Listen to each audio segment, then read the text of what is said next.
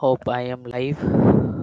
Yeah, so hey guys, uh, welcome back. So today agenda is you know how to show uh, real time project if you are planning to switch manual to automation. So you know I try to come you know every weekend live Friday. You know some uh, you know today we have at some time. You know we are logging off early, right? So I thought I spend the time here okay guys so uh today i came live okay. So why uh you know this session we have? So many of manual tester are having a lot of the gap right because of any reason or if you are working in your different profile right? So the people who is struggling to show what project you have to show in automation if you are attending uh interview right as experience like you have a you are showing three year of- three year of experience or more than three year or two year right? And second thing you know the people are also are struggling you know how many how many pro- uh, project you have to show. Okay like if you are showing a three year experience in automation right? Or if you have a lot of the gap like four year or five year right? So how many project you have to show in your resume? Or how to show the proper project but before showing or before putting your project in your resume you have to prepare well. Otherwise you have to uh, struggle lot okay? So see uh, many of the people having the lots of the fear uh, i am a manual tester. I did not uh, uh, you know work right? I did not work in real time. So what will happen right?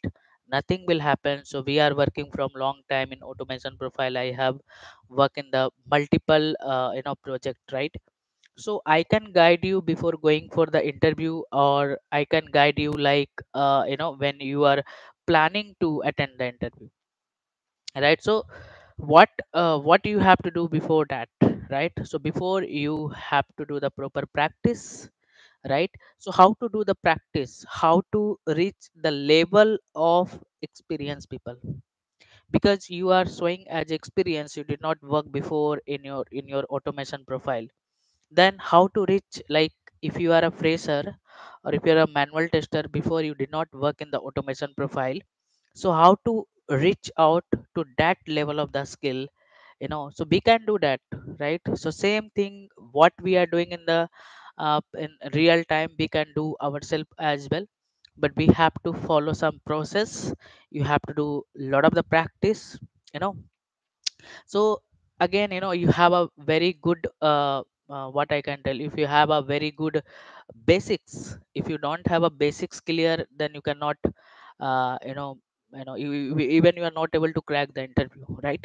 So technical skill is important. You have to learn as experience level. So i'm just going to come again about my topic you know how to show your real time project right? So if you are a manual tester or if you're having the gap you don't know what the project you have to show in your resume so first of all you have to learn java. You having the very good knowledge in the java otherwise you will stuck in your interview. That is the one thing you have to take care. Second thing we have to take care you know logic development part okay? Actually many of many automation test engineer they are going to uh, stuck in your logical programming right? So you have to block your time to do the practice. This is the one level because in the real time also you have to write some code right? You have to develop some logic. So this is the one thing. Second steps your selenium part basics to advanced level. Then you have to learn the framework. You having the knowledge of to develop the framework. You already know that. Here the most of the people who is already done the courses but they are not doing the practice for the framework. That is the you know again big problem. If you are not aware of the framework please do not start your interview guys. So otherwise you will stuck in the interview. Unfortunately or fortunately will get the job then you will stuck in the company. So first you have to learn the framework. Then after that you have a knowledge of you know e to e the how the framework is working right? Then after that what you have to do you can take any application. If you can take uh, banking application or e-commerce so i will suggest you can go for the e-commerce because e-commerce we are frequently using this right? If you, you know how to use. So at least you have to write manual test cases like 50 to 100 test cases you can write manually. Might be you have a join the people who did not work in the manual also right? So you have a project from the scratch level you have to start your manual then you have to start your automation right? So in this scenario you will not stuck. Got it right? So this thing you have to take care. Then what will happen? You are very good in uh, one uh, like you have automated 50 test cases. You can take any domain guys. So i will suggest you, you can go for the e-commerce. E-commerce we are already using that. So you can you know learn the e-commerce very you know easy way at least you can write 50 test cases and you can show them the same thing in your resume. One thing the people are stuck which application we have to show right? Which application you have to show in your uh, resume. So you can take any application on your uh, you know you can take from the google. Like you are not working you are showing some fake experience. I simple i'm going to give you the example so that people will not call you in your company for the verification. This guy uh, you know uh, they will uh, not ask you uh, this project is belong to you know this client and all right? They will they will never ask you right? So here you will get the confidence okay? So this is the same thing when you will join the company. Then we have a some framework. If you don't have a framework if you are showing more than five year of experience you will get the chance to develop the framework. So that thing you should know because you don't know the what type of the project they will assign to you. But if you have a knowledge of the development of the framework you are uh, easy to handle this all the stuff right? So that is the one thing. Then same project you can put in your resume right?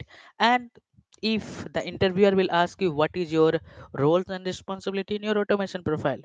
You can tell the same thing we are doing also the same thing in the company right? You have automated at least 50 test cases.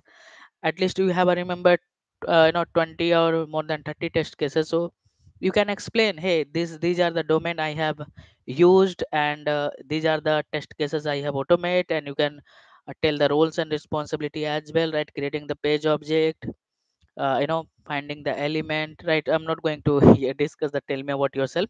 So so why you are going to you know the many people are having the lots of the fear like what will happen? Nothing will happen here if you are good in the skill even the real people real the people who already work in the real time they are going to a stuck. Because because many exception and many error are coming in the real time right? So definitely the people is going to a stuck but we can find the solution on the google. So please do not fear. You can do the uh, proper practice and all and definitely you know uh, you can reach on your destination. So today uh, this is my agenda. So many of the people are asking what project you have to mention and all. One more thing i want to uh, suggest you. If you are showing two year of experience in automation you can put only one project. If you are showing three year of experience also you can put only one project if you are showing more than two three year experience then you can put two project. Either you can put one for uh, you know e-commerce and you can take the banking application. So same thing you can do for the banking application also. You can take any url or if you if you are uh, if you are not able to find the application so please reach out to me. I will provide you some url the same application you can show in your project and you can automate at least 50 test cases you can write and you can automate using the framework right? So like that you can if you are showing six year like you can put uh, more than three or two project. Again it depend upon your how much you're doing the practice and all right? And what type of the project you are showing. If you have a big application then you know that uh, two project is you know enough for you guys so that's all uh, in this uh, session guys. So if you so i don't have any planning just i have a time i came live to discuss this all the things. Okay so that's all. So might be uh, every weekend i'm trying to come in the live if if i am free. Okay if i am not sorry if i am not free then I, I'm, I'm uploading the video. I, I already have a many video on that. You guys can go and you can watch that that. Okay that's all in this video guide so thank you so much and see you in the next uh, session guys. And please share and subscribe my channel and press bell icon to get new video notification.